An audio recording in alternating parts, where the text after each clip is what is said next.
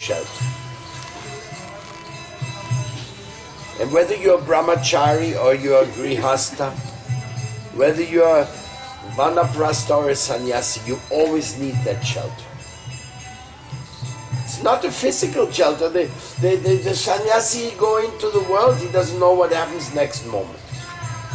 He doesn't know who he's going to meet, nothing, but he's always depending on this shelter. This is the real ashray.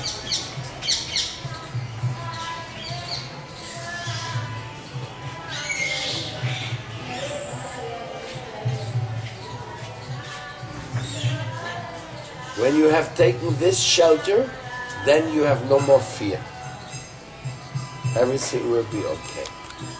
Oh my God. Hare Krishna. How are you? Cha- So wonderful to see you.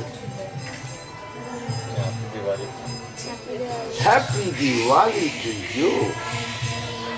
You want a licorice? Tomorrow is our birthday.